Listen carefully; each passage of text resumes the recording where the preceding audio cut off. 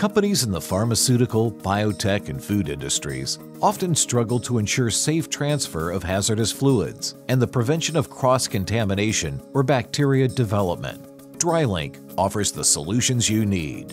Most competitors' couplings on the market today are of a poppet or plunger type, or of a ball valve type design that can trap liquids and allow bacteria to germinate and grow. As you can see from these pictures, couplings with internal cavities, voids, and springs can never be truly sanitary. DryLink couplings have none of these deficiencies.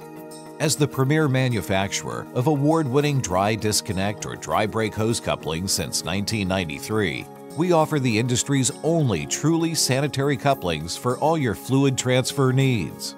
Our mechanical interlock design delivers a high flow rate with virtually no spillage when disconnected and no accidental openings. During the manufacturing process, all discs are sealed before the coupler and adapter can be separated to create a smooth, unified unit ideal for handling low or high volumes of viscous or hazardous liquids.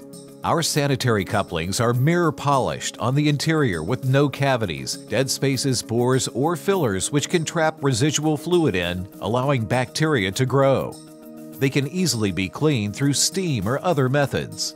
DryLink couplings feature extremely compact designs and are exceptionally light, weighing as much as 50% less than competitive products.